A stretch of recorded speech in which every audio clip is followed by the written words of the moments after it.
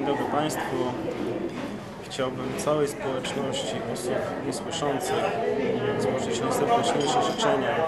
Mam ten wielki zaszczyt, że tłumaczy mnie mój przyjaciel Adam Stromidło, z którym poznaliśmy się już jakiś czas temu.